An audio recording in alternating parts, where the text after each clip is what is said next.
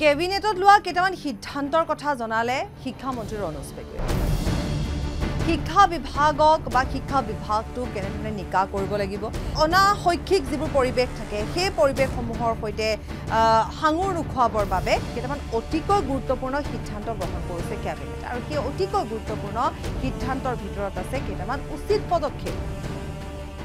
বহু সময়ত আমি দেখা পাওঁ যে কোনো এজন ব্যক্তিৰ নামত আন এজনে পৰীক্ষা দিয়ে। প্ৰশ্ন কাকত লিক হয়। লিক হোৱা প্ৰশ্ন কাকতখন কোনোবাই বিক্ৰী কৰে। লিক হোৱা প্ৰশ্ন কাকতখন কোনোবাই কিনে। লিক হোৱা প্ৰশ্ন কাকত এখন কোনোবাই ছপা কৰে ছপা কৰি বিলায় বা লিক হোৱা প্ৰশ্ন কাকতৰ উত্তৰ কোনোবাই লিখি দিয়ে। অৰ্থাৎ পৰীক্ষা হলৰ পৰা প্ৰশ্ন কাকতখন বাহিৰলৈ ওলাই আহিল। কোনোবা এজন লোকে তাৰ উত্তৰখিনি লিখি যোগান ধৰে। এই সকলোবিলাক ব্যক্তি এই অৰ্ডিনেন্সৰ অধীনত তেওঁলোক অভিযুক্ত হ'ব আৰু অভিযুক্ত হলে তেওঁলোকৰ কাৰণে শাস্তিৰ ব্যৱস্থা আইনখনত ৰখা হৈছে। ফাইন আপ টু টেন ক্ৰৰলৈকে জৰিমনা ৰখা হৈছে আৰু জৰিমনা অবিহনে তেওঁলোকৰ কাৰাদণ্ডৰ ব্যৱস্থা ৰখা হৈছে। নিযুক্তি পৰীক্ষাত অসৎ উপায় অৱলম্বন কৰাৰ ক্ষেত্ৰত এ পি এছ চিৰ পৰা টেটলৈকে এক কঠোৰ নিৰ্দেশনা জাৰি কৰা হৈছে। কিমান টকা ভৰিব লাগিব সেই সন্দৰ্ভত ইতিমধ্যে শিক্ষামন্ত্ৰীগৰাকীয়ে জনাইছে।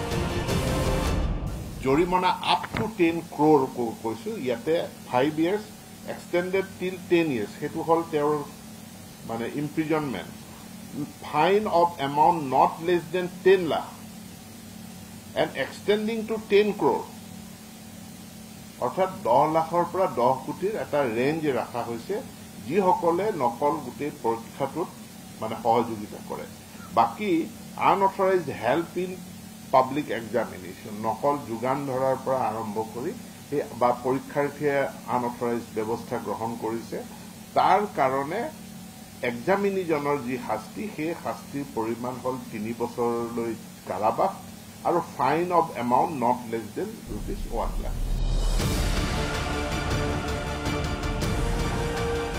এগৰাকী ছাত্ৰক এগৰাকী ছাত্ৰক এটা শৈক্ষিক ভাল সুস্থ শৈক্ষিক পৰিৱেশৰ মাজত গঢ় দিয়াৰ বাবে এনেধৰণে কিছু ব্যৱস্থা গ্ৰহণ কৰা হ'ব বুলি শিক্ষামন্ত্ৰীগৰাকীয়ে কৈছে। উচ্চ শিক্ষিত নহ'ব পাৰে কোনোবা কিন্তু এগৰাকী দেশৰ ভাল নাগৰিক হ'ব লাগিব। আৰু তাৰ বাবে এনেধৰণে বিদ্যালয়ৰ পৰা আৰম্ভ কৰিব লাগিব সেই যাত্ৰা। গতিকে বিদ্যালয় পৰিৱেশ যাতে সুস্থ হওক সেই শৈক্ষিক পৰিৱেশ যাতে সুস্থ হওক আৰু সেই শৈক্ষিক পৰিৱেশতে যাতে এগৰাকী দেশৰ ভাল নাগৰিক গঢ় লৈ উঠে তাৰ বাবে প্ৰচেষ্টা আৰম্ভ কৰিব বুলি শিক্ষামন্ত্ৰীগৰাকীয়ে উল্লেখ কৰিছে।